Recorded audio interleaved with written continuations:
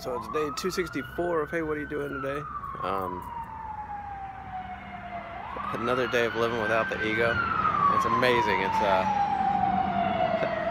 everywhere I go, I seem to have a friend, and uh, just looking on looking upon people without any kind of judgment, any kind of preconceived notion, and uh, everywhere I go, there's a, a new friend, something uplifting to look at. So, anyway, crazy stuff going on. Day 264. Hey, what are you doing? Thanks.